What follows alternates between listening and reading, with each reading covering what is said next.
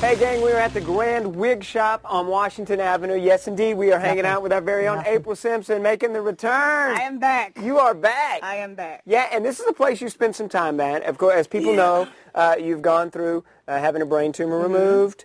Uh, you've gone through radiation, which has, it has gone well, and uh, you spent a few few days here at the Grand. Wig Shop because of it. You fell in love with the place. Yeah, because my doctor told me once I started radiation, he says you may lose some of your hair, so I, I suggest you go buy a wig. And I was like, I don't want to go buy a wig.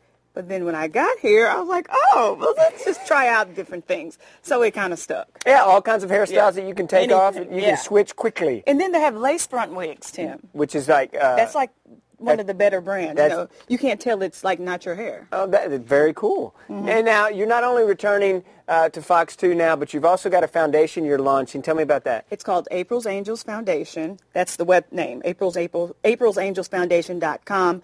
April's Angels is a group, uh, of nonprofit organization I started just to help people who have done, had, tum- had tumors and also help their families because I don't think people understand how hard this really is. And like the families, you know, and sometimes financially it can be kind of uh, difficult for people to keep moving. You can't work, you know, Right. so you're going through all this. So we're just here to help.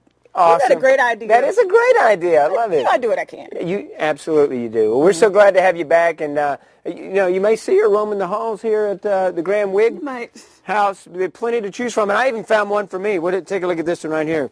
What do you think? I think it's a hot mess. Come on, come on. I think it's a hot mess. I think that works, don't no, you? I, I don't. There should be uh, a not foundation to help. Yes, to help crazy people like you. Yeah. There you go, right there. All right, Oh, there it is. wow. Grand Wig House right here on Washington Avenue. And be on the lookout for April's Angels.